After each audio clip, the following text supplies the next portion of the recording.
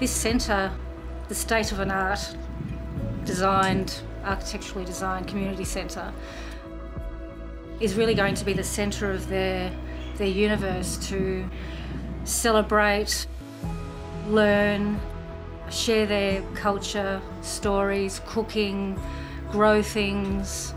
So, what excites me about being awarded this commission is that I have the opportunity to try and enable people within the community to give to give input so that they can walk past in time and say I was a part of that.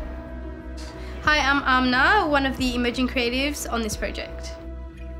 I'm really excited to work on this project because it will be something that lasts for many years to come. Hi, I'm Jerusalem and I'm excited to be part of this project as an emerging creative. I'm excited about this project because it engages the community and I get to work with different people and amazing creatives. Both Amna and Jerusalem, they're like a conduit to the community. They've lived in Flemington, they're part of that cultural ethos that I can only learn through through story and storytelling. It essentially will be a reflection of the people who've lived and live in the Flemington estate. If you were engaged in this project, you would have the opportunity to share your lived experience and thoughts, and it would be something you could look back on and say that I was a part of that.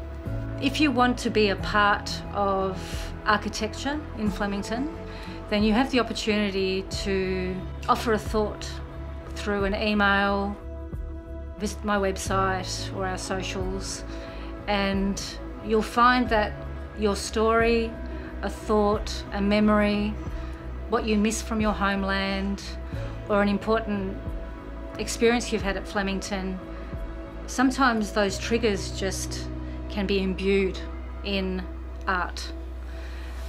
And this process for me is it's very important because art is border crossing.